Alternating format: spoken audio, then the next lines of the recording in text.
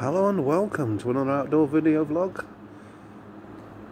can Currently find me quarter past four in the morning and I'm in Tallinn in Estonia. I'm in Sin, Rammstein. So yeah, your eyes don't deceive you. This far north in Europe, if you're watching this and uh, have never been to this part of the world, it's um, pretty light at quarter past four in the morning this time of year. Sun does set, but it's only you know about an hour and a half, two hours this time of year. But, um, yeah, it's a lovely place. The weather's been outstanding every day, like it's been unbelievable. So I just want to talk about the Rammstein gig, um, which was at uh, an amazing venue, about two kilometres along the uh, coast here and uh, walkable from the hotel. It was amazing. I mean, the sound, that's the best outdoor sound I've ever heard in my life.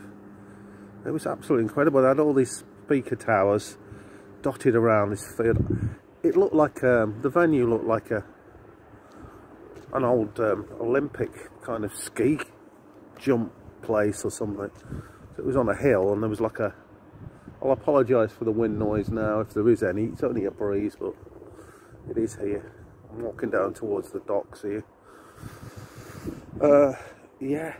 Oh, I think it was a, it was looked like it was an old ski jump venue from the like Winter Olympics in the past or something. Amazing place. They had these big speaker towers dotted around the field and uh, you know, with modern technology and that modern speakers, it's absolutely immense. The bottom that's the first gig I've ever been to in my life where I could say I could hear everything. And, and Rammstein, you know, that's a big heavy sound. You could hear the bottom end, the, the low end guitars.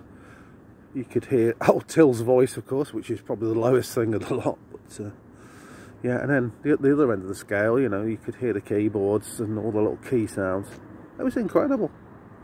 It's absolutely amazing. I'm actually waiting for a taxi at the moment, so I better not stray too far away. The sort of docks, the docks are sort of behind me there somewhere in the area. You can't really see the old town. If you ever come to Tallinn, and that is an amazing venue, or if you just come to Tallinn just to sightsee, um, it, what the old town is probably one of the most picturesque, beautiful places I've ever been in my life, and the people here are amazing. So laid back and that. Fantastic. Anyway, Rammstein. There was people. Yeah, look again. We're getting a bit of wind noise here now. Turn around. Well I'll, I'll, go back towards the hotel. That's the best. There was people of all ages there, you know, and, and from all different countries as well. Because here uh, we're on the Baltic coast, north east Europe. You know, everybody sort of supports everybody else, and you can travel here, train. But there's loads of ferries from like you know we caught a ferry from Finland, like you know, there was loads on that. It's, it's amazing.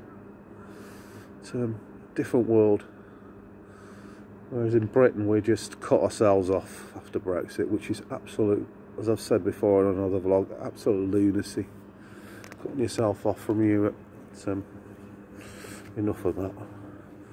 So yeah, Rammstein, uh, it was an amazing show. It's an amazing, amazing, uh, an amazing setup. The, what the staging was like an post-apocalyptic kind of industrial thing. Just going to change my hands here. Apologies. It was absolutely amazing. Fire and smoke going up into the air and incredible, like yeah, I've never seen anything like it. I'm gonna I'm gonna say at this point in time that's the best gig I've ever been to, both sound wise and visually. And the band were awesome. But, um, and, and and as ever with Rammstein, you know, they're pushing your buttons, your emotional buttons, and that. They're very unique like that. Yeah, I said to Steve, like, you know, you, you'll have a band like Rush, which is like a more cerebral kind of affair, really gets you thinking in that way. Uh, Rammstein get you, get you, you, they poke at your emotions and play with your head a little bit, like, and it makes them different. But the brilliant thing is that the fans get it. The fans get it. They know they're decent guys and all the rest of it. Had, you know, maybe a tough upbringing and all that kind of thing in, in East Germany and the rest of it.